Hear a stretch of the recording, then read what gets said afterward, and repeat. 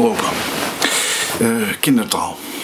Um, ofwel uitdrukkingen van volwassenen waar kinderen gewoon helemaal niks mee kunnen. Uh, toen ik klein was, was een van die gevleugelde uitdrukkingen was dat je moest uitkijken, want anders kwam je onder een auto. Nou, dat, dat kan een kind invullen onder een auto. Ehm, dat gaat natuurlijk heel letterlijk, want er wordt verder niks uitgelegd dat je eigenlijk niet onder de auto moet komen, maar vooral onder de wielen van de auto.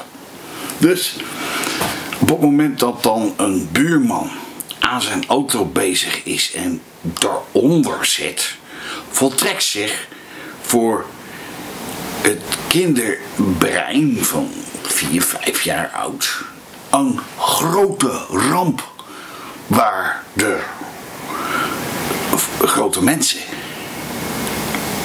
kennelijk eh, niks van vinden. Eh, wat grote eh, verwarring en ontzetting voor zo'n kind van 4, 5 jaar teweeg brengt.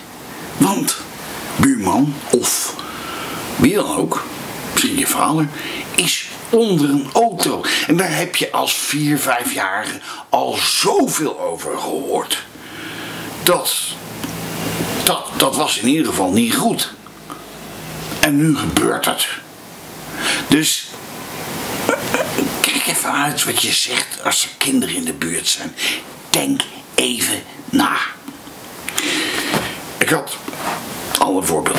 Ik had ook zo een Ehm, en opa die had een, een van zijn, vingers, niet meer welke het was, maar dat, was, dat ging niet verder dan dit. Dus dat ik veel, ik geloof deze. Dus als kind wil je weten, opa, wat is daarmee gebeurd?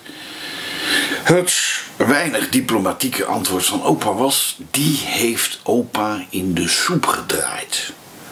Ik weet tot op de dag van vandaag niet wat opa daarmee bedoelde. Maar soep, dat kende ik. Want dat maakte oma. Oma maakte altijd groentesoep. Er was, al, er was eigenlijk alleen groentesoep bij die oma. En die smaakte altijd naar bleekselderij. Want als oma een bleekselderij moest kopen bij de groenteboer.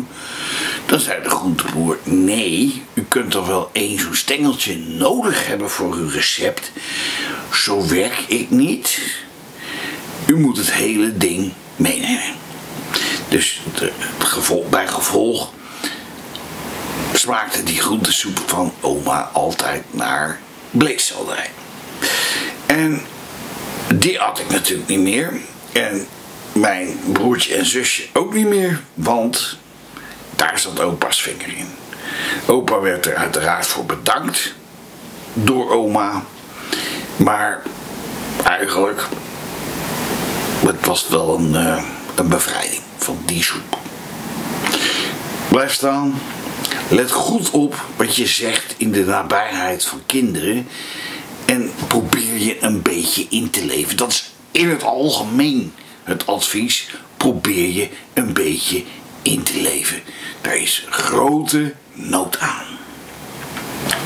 Bedankt voor het